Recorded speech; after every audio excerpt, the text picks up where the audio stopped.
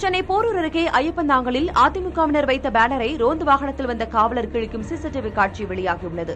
வாகனத்தை நிறுத்திவிட்டு கீழே இறங்கிய காவலர் பேனரை நன்றாக உற்று பார்ப்பதும் பின்னர் காரில் இருந்த கத்தியை எடுத்து பேனரை கிழிப்பதும் சிசிடிவி கேமராவில் பதிவாகியுள்ளது.